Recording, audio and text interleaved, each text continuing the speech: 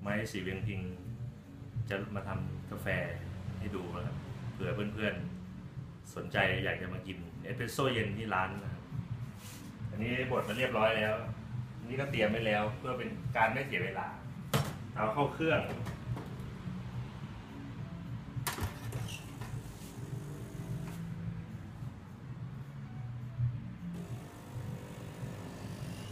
ในช่วงที่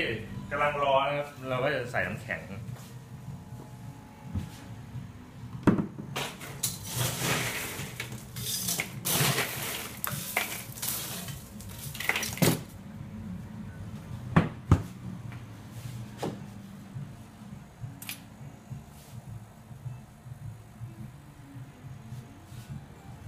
เค